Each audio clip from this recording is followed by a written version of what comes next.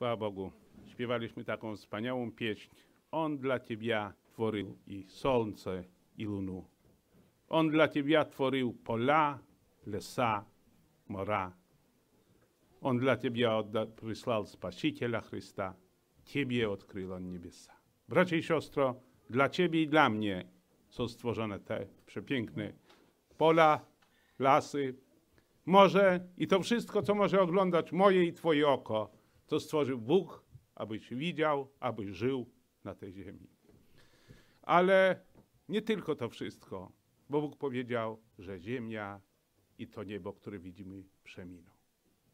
I kiedy nastanie ten czas, że to przeminie, to Bóg otworzył dla mnie i dla ciebie niebo. I siostro, będziesz żył dalej, tylko w innym świecie. I Bóg to wspaniałe miejsce przygotował każdemu z nas. I siostro, ale czy kiedy śpiewaliśmy poprzednią pieśń, że śmiało, śmielo smotrów w niebiosa, to taki dreszcz przeszedł przez moje życie, przez serce. Bo bracie i siostry, śpiewać, że śmiało patrzysz w niebiosa, to możemy. Tylko chyba, że nie wiemy, że jest tam Bóg Wszechmogący, który widzi moje i Twoje życie i który widzi, z czym przyszedłeś na to miejsce. Ale nie tylko z czym przyszedłeś na to miejsce, ale jak żyjesz każdego dnia. Co jest dla Ciebie najważniejsze. I bracie i siostry, kiedy tak pomyślałem, to pomyślałem, to nie pomyślałem. To stwierdziłem, że w moim życiu Bóg nie jest najważniejszy. Że więcej czasu spędzam z telefonem, jak z Biblią. I bracie i siostry, i nie wiem, czy tak śmiało mogę popatrzeć w niebo. Czy tak śmiało mogę popatrzeć, kiedy przyjdzie mój i Twój Zbawiciel. Bo bracie i siostro, to co słyszeliśmy tutaj, Bóg nam coś obiecał. Bóg nam powiedział, że jeśli uwierzysz, będziesz zbawiony. Ale bracie i siostro, to tylko jedna strona medalu. Na, gdy spojrzymy monetę, to tam widzimy jedną stronę, ale jest i druga strona. A ta druga strona to to, co Bóg powiedział dla mnie i dla ciebie. Będziesz wypełniał Jego przykazania. Będziesz żył tak, jak On nakazuje, abyś był w tym niebie. I siostro, nie tylko, że wierzyć. Wierzyć, gdy usłyszymy w naszym kraju wierzy 90%. On mówi, ja wierzę w Boga. Tylko bracie siostro, czy żyjesz tak, jak Bóg nakazał? Czy żyjesz według Jego słowa? To jest ważne. W piątek, gdy byłem w pracy, przyszedł do mnie pełen człowiek i mówi, powiedz mi, co ty sądzisz o tym, co teraz się dzieje? A ja mu mówię, a jakie to ma znaczenie? Jakie to ma znaczenie, co ja sądzę o tym? Mówi, przecież to nie ma. Ale ja chcę wiedzieć, twoje zdanie, co ty sądzisz o tym, co się dzieje? A ja mu mówię, jeżeli tak pan chce, to ja panu powiem. Mówię, ja nie wiem, a sądzić ma prawo każdy. Mówi, po pierwsze, myślę, że to jest Boży sąd. Ale mówi, ja, ja tak sądzę, ja nie wiem. Po drugie, mówię, myślę, że ten wirus mógł się wyrwać z laboratorium. Mieli junu. A po trzecie, takie myślę, że ktoś go specjalnie podrzucił. To tak ja sądzę. Ale mówię, to jest mój sąd i dla mnie sądzić można tak, a dla pana tak. I on mówi, wie pan, ja tak myśląc, byłbym za tym pierwszym. Ale mówi, dlaczego na wszystkich? Dlaczego na wszystkich? Ja mówię, jest pewna księga, która to opisuje. A on mówi, a ty masz tą księgę? Mówi, mam. No to mi ją przywieź. Obiecałem, że przywiozę i przywiozę. Ale dzisiaj chciałbym trochę, abyśmy porozmyślali nad tym, bracia i siostry, komu ufamy. Komu, bracia i siostry, czy tak rzeczywiście jest, jak śmiewamy, że śmiało patrzymy w niebo? Apostoł Paweł, Piotr na początku, gdy powstawał Kościół, gdy Bóg zesłał Ducha Świętego, mówi takie słowa w drugim rozdziale, będę czytał jeden, czterdziesty wiersz. Wielu też innymi slo, słowy składał świadectwo i napominał ich mówiąc, ratujcie się spośród tego pokolenia przewrotnego. Wiecie, siostry, oto na początku mówi, ratujcie się. Co to znaczy się ratować? Wiecie, się ratować to się znaczy bronić, uciekać od zguby, od kłopotów, nieszczęścia, a nawet od śmierci. Piotr mówi: ratujcie się. Wy żyjecie w tym świecie, ale mówi: uciekajcie. Nie, nie, nie róbcie tego samego, co ten świat robi. Wy, mówi, uciekajcie. Wy nie słuchajcie tego, co ten świat mówi, co ja mówię. Być może co mówi nasz prezydent, rząd. Bracie, siostry, to ma małe znaczenie. Bóg, co mówił. A też dzisiaj chyba było śpiewane, czy to obieszczał Bóg, to i spełnić. Bóg to, co powiedział, to wypełnia. Bracie siostry, Bóg to zapisał na stronicach swojego słowa i jako wzór dał naród wybrany. Bóg tak często mówił do tego narodu, napominał go, aby on mu służył, a on jednak nigdy się go nie, nie wyrzekł, ale nigdy tak całym sercem. Można, może nie powiedzieć nigdy, ale tak często szukał sobie kogo innego. Tak rozmyślałem nad tym i siedziałem, czytałem Słowo Boże i mówię, kogo to słuchać, kiedy tak wiele nauk, kiedy tak wiele tego wszystkiego i przyszedł mi na pamięć taki wiersz zapisany w księdze Jeremiasza, 22 rozdział i tam jest napisane tak, ziemio, ziemio, ziemio, słuchaj słowa pańskiego. Bracie i siostro, Bóg mówi do ziemi i mówi, słuchaj słowa pańskiego. Nie to, co bracie siostro gdzieś usłyszałeś, nawet w kościele, tylko czy to jest zapisane w tej księdze. Czy to mówi Bóg, bo dopiero jak Bóg mówi, to ma jakieś znaczenie i Bóg to wypełni. Bo Słowo Boże mówi, że Bóg pilnuje, aby Jego Słowo się wypełniało.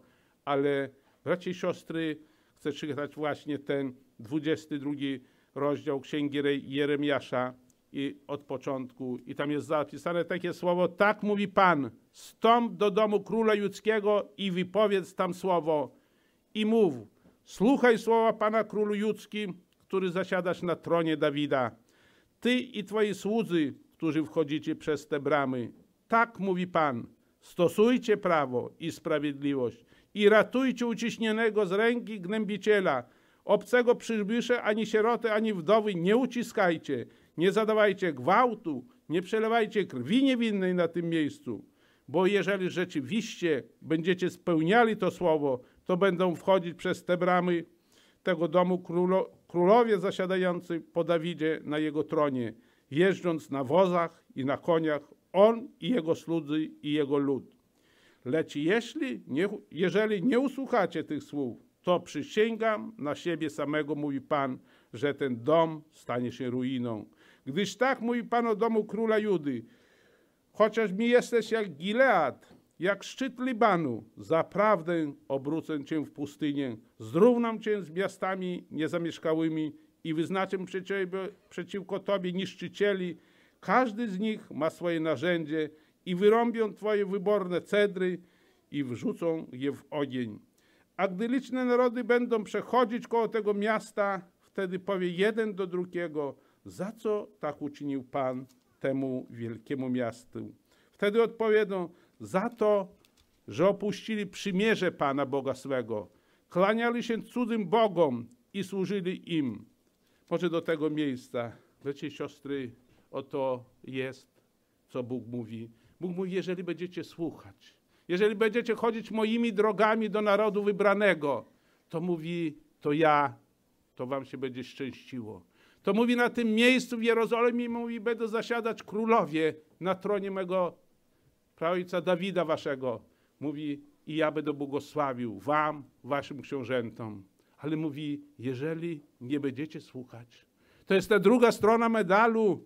Mówi, to chociaż mi jest stać, z Gielat. Bracie siostry, Giera to jest ta najpiękniejsza ziemia w ziemi obiecanej. To my czytamy, że kiedy bracia Józefa go tam na pustyni, gdzie, gdzie pasły owce, złapali, wrzucili go do, do studni, to wreszcie stamtąd, z Gileadu, wracali te, te Ismaelici, niosąc, jak pisze, różne wonności, do, szli do Egiptu To ta ziemia, która była piękna, która miała piękne pastwiska, która, Słowo Boże, oko Pana było zwrócone. Ale Bóg mówi, jeżeli nie będziesz mi służyć, to obrócę cię w pustynię. Mówi, zrównam cię z miastami niezamieszkałymi, mówi. I to samo mówi o Libanie. Gdy Salomon budował świątynię, to stamtąd sprowadzono cedry, bo tam były największe, najpiękniejsze, najzdrowsze. No I Bóg mówi, ja to zrujnuję. Bracie, siostry, Bóg mówi do mnie i do ciebie, że słuchaj Jego głosu. Słuchaj Jego głosu. Bracie, siostry, siostro, jest to czasem tak trudna decyzja. Tak, to tak łatwo się mówi, ale to, co Bóg mówi, to nie wypełnia się tak szybko. To nie dzieje się od zaraz. Bóg mówi w czasie, w odległym czasie. Bóg mówiąc do Abrahama, mówi, że Tobie dam. Potomstwo Twoje, mówi, będzie ogromne, mówi. A lata mijają, bracie i siostry. A lata mijają i nie ma nic. A Bóg potwierdza. Mówi, ja dam Ci syna, którego oczekujesz. A żona mówi, może od służebnicy będzie ten syn. A Bóg dalej utwierdza, mówi, wyjdź, mówi, spójrz, mówi na niebio. Mówi, potomstwo Twoje będzie jak gwiazdy niebieskie. Wiecie, siostry Abraham, oglądając to niebo, patrzy tym mnóstwo gwiazd i pewnie zbudowane jest jego serce i wchodzi do namiotu, a tam świeci stara babcia, 90 lat i mówi, Boże, to niemożliwe. Boże, to niemożliwe, a Bóg mówi, ja Ci dam. Bracia siostry, może możemy mówić, że Abraham to był taki człowiek, który nigdzie nie wątpił, nie, nie zachwiał się, ale on się chwiał. Gdy Bóg mówi do niego te słowa, to on mówi, niech chociaż Ismael mówi, żyje. A Bóg mówi, i w tym cię wysłuchałem, i rozmnożę go, mówi. I będzie to naród wielki, ale nie od Ismaela, mówi. Od Izaaka będzie to potomstwo. Bóg obieca. Bóg mówi, ja ci dam. Ja nie zostawię, mówi. Ufaj. Będzie siostro, i oto stuletniemu rodzi się syn. Stuletniemu, kiedy wszystko jest niemożliwe, wtedy rodzi się ten syn. Bracia siostry, Bóg przychodzi wtedy, kiedy wszystko wydaje się niemożliwe. Kiedy możesz sam zrobić, Bóg nie musi przychodzić. Ty możesz to zrobić. Ty możesz z tym poradzić, ale kiedy wszystko wydaje się niemożliwe, to Bóg wtedy przychodzi. Wiecie, siostry, my jesteśmy czasem jak te dzieci. Ostatnio słuchałem brata Barkociego, kazanie, i on mówi, Bóg musi używać tak, jak czasami do nas. Mówi, mówimy do dziecka, zrób to. On mówi, dobrze. I patrzymy dalej, nie robi. I mówi, zrób to.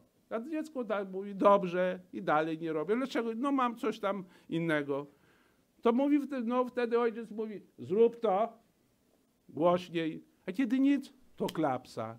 I wtedy płaczemy. Bracie, siostro, Bóg podobnie z nami o cię obchodzi. Raz przypomina, drugi raz przypomina, mówi do nas, prosi nas, wskazuje na słowo, a kiedy nie, to czasami uderza. I Słowo Boże mówi, że kara za nieprawość nie przychodzi tak szybko, dlatego ludzie to lekceważą. Kara nie przychodzi tak szybko, to ludzie lekceważą, a szczególnie w czasach, kiedy jest ten dobrobyt. Kiedy jest ten dobrobyt cielesny. My czytamy, bracia i siostry, kiedy Jehoszafat, ten król, który kochał Boga, który żył tak, jak Bóg nakazuje i Słowo Boże pisze, a kiedy wzbogacił się. A kiedy się wzbogacił, to się spowinowacił Zachabem. Tym królem, który, który robił wszystko, aby nie służyć Bogu. I przyszedł do niego, a ten mu wyprawił taką ucztę, zabił wiele wołów, zabił wiele owiec i mówi, a może wyruszysz ze mną na wojnę przeciw Ramot Gielackiemu? I on mówi, jako ty, tak i ja, bracie i siostro.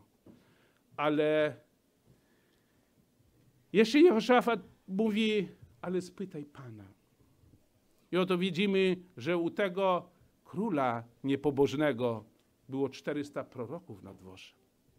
I on ich zawołał i wszyscy mu świadczą, mówi rusz, wyrusz, mówi, zwycięstwo pełne. Jeden spo, sporządził sobie rogi i mówi, mówi, tak, mówi Pan, ty mi będziesz bud, mówi Aramejczyków. Ale Jehoszafat mówi, a czy Bożego proroka tutaj nie ma? A on mówi, jest. Jeden, ale ja go nie lubię. On w więzieniu siedzi. On mi nigdy nic dobrego nie mówi. Ale mówi, niech nie mówi tak król. Niech, przy, niech przyjdzie. I bracia i siostry posyłają po tego Bożego sługę. I gdy posłaniec poszedł, to chce mu pomóc. Mówi, wiesz, wszyscy dobrze mówią. Mówią, że będzie zwycięstwo, że król zwycięży. Mówi ty. Ale bracia i siostry, Michał, co mówi? Jako żyje Bóg, że nie powiem nic innego, co mi powie Pan. Wiecie, siostry, ten człowiek, który siedzi w więzieniu, który tak cierpi za to, że mówi prawdę, mówi, nie powiem nic innego. A Bóg mu pokazuje, że tam zginie Achab. Że to już jest to ostatnia jego podróż i on go jeszcze ostrzega. Mówi, że widziałem Izraela rozproszonego. I Pan powiedział, ci nie mają pasterza. Wiecie, siostry, Bóg mówi do każdego. Bóg i chce, aby byli zbawieni każdy, kto żyje na tej świecie. Czy on żył bezbożnie, czy on żył, Bóg do niego przemawia. Bóg mu okazuje łaskę. I to samo mówi o, o Achabie. Oto ostatnia szansa. Idzie Michał i mu mówi, a on mówi do króla, a co nie mówiłem? On nigdy nie mówił mi nic dobrego. Ale ten prorok zwiastował mu dobre. Ten prorok dbał, ten prorok chciał, aby Izrael był zbawiony. Ten prorok chciał, aby król się nawrócił. Wiecie, siostro, dzisiaj Bóg mówi do mnie, mówi do ciebie, że idą trudne czasy. I Bóg to zapisał na stronicach. Bracie i siostry, nie trudne może fizycznie. Dzisiaj mamy dostatek, dzisiaj mamy obfitość w naszym kraju, chociaż nie w każdym kraju to jest, ale w naszym mamy. Ale dzisiaj są tak trudne czasy duchowe. Diabeł z każdej strony atakuje, z, z każdej strony przyciskają, nawet prawo mówią i to są te trudne czasy duchowe. I Bóg mówi, że komu zaufacie? Dla kogo zaufacie? Dla mnie czy dla kogo innego? Bo Bóg ma swój plan. Bóg ma swój plan dla każdego, dla mnie i dla ciebie. Dobry plan. Tak jak śpiewaliśmy, przygotował dla nas niebo. Otwarte jest niebo, ale musimy coś zrobić. W księdze proroka Jeremiasza czytamy w 17 rozdziale od 7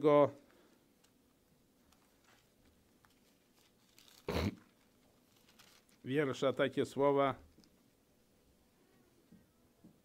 Błogosławiony mąż, który polega na Panu, którego ufnością jest Pan. Jest on jak drzewo zasadzone nad wodą, które nad potok zapuszcza swoje korzenie. Nie boi się, gdy upał nadchodzi, lecz jego liście, liść pozostaje zielony. W roku posłuchy nie frasuje się i nie przestaje wydawać owocu. Bracia i siostry, Bóg mówi, że Bóg ozdobiony ten, kto na nim polega. Ale Izrael nie polegał tak na Panu.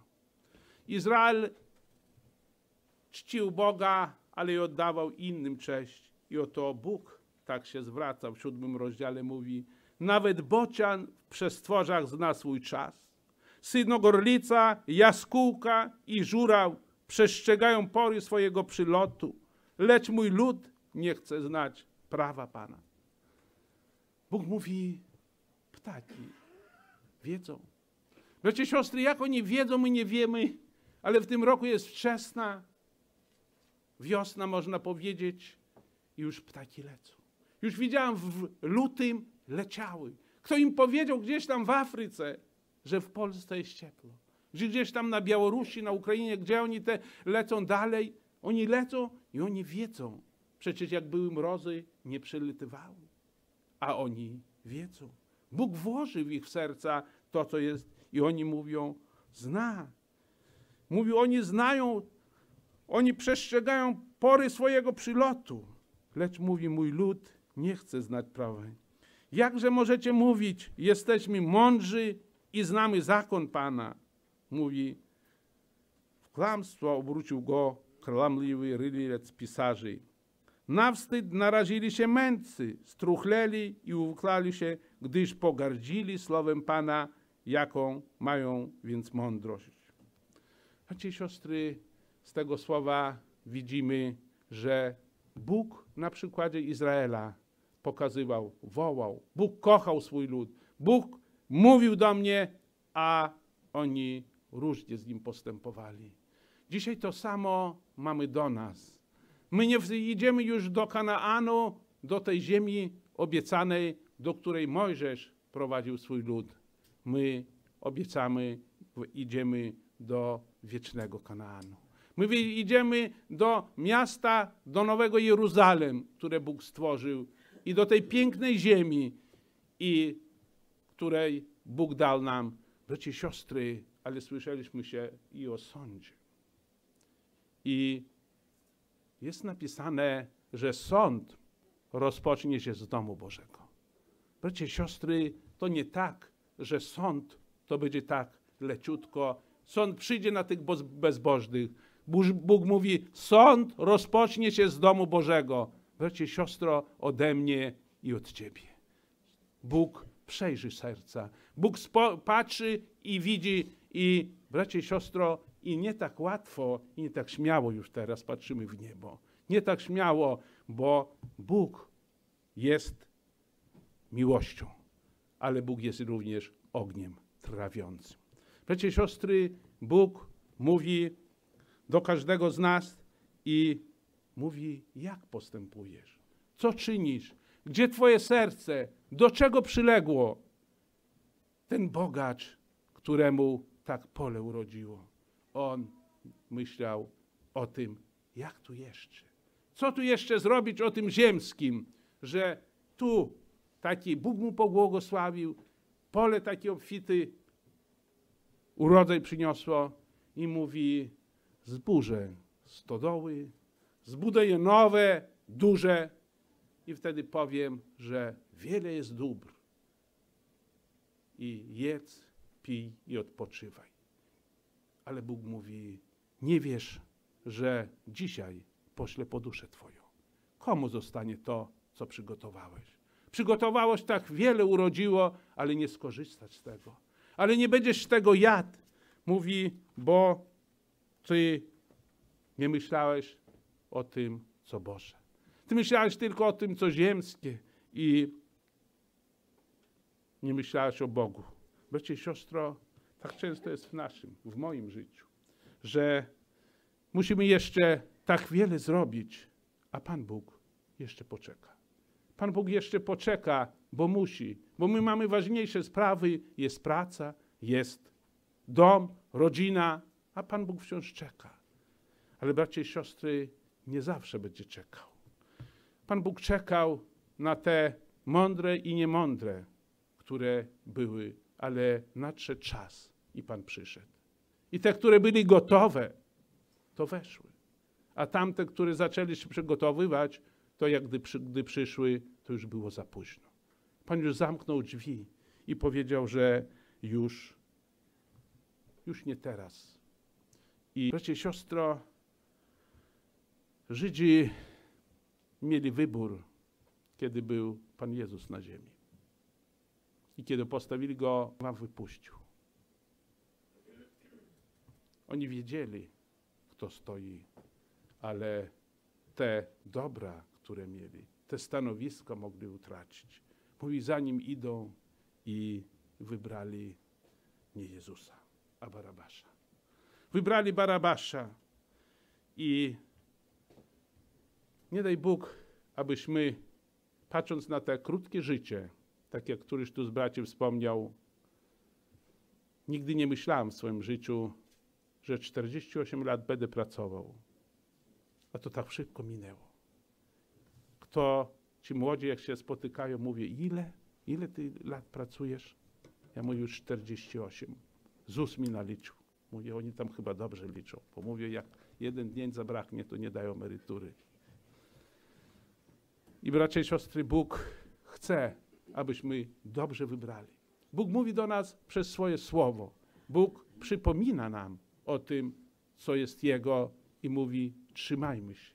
Mówi, moje obietnice są pewne, niezachwiane, ale mówi, czasami musimy trochę na nie poczekać.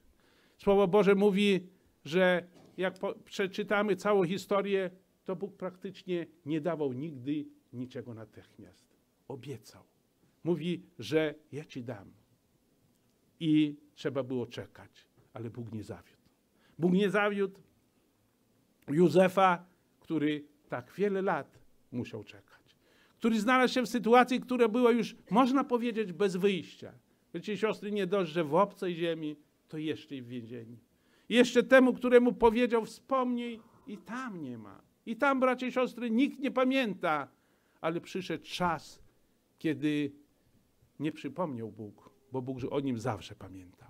Bo Słowo Boże mówi, że Bóg był z Józefem. Gdzie on nie był, to zawsze Bóg był z nim. Ale przyszedł czas, kiedy Bóg spojrzał i mówi: On już jest gotowy, żeby postawić go na królestwo. On już dojrzał do tego, że jest, już go można, że on już nie będzie znęcał się nad swoimi braćmi za to, że go sprzedali, że w jego sercu już, już zostało zmienione tak, że może zasiadać na tronie i Bóg postanowił, mówi, dzisiaj. I w swój sposób Bóg prowadzi, daje sen i wyprowadzają Józefa. Bracie siostry, tak samo w wielu innych rzeczach Bóg pragnie, aby Jego lud Jemu ufał. Aby przez co Bóg by nas nie przeprowadzał, Bóg mówi, nie opuszczę Cię, ani Cię zostawię. Bóg jest z nami. Bracie siostry, czasami nam trudno przechodzić przez te chwile, ale nikomu nie było łatwo. Bóg nie powiedział, że będzie łatwo. Gdy czytamy to Słowo Boże, nigdzie nie mówi, że dla chrześcijan na tej ziemi będzie łatwo. Ale Bóg mówi, że przygotował wspaniałą obietnicę, że Bóg na pewno przyjdzie i że Bóg nie zostawi. I Bóg mówi, te słowa są pewne i prawdziwe. Amen.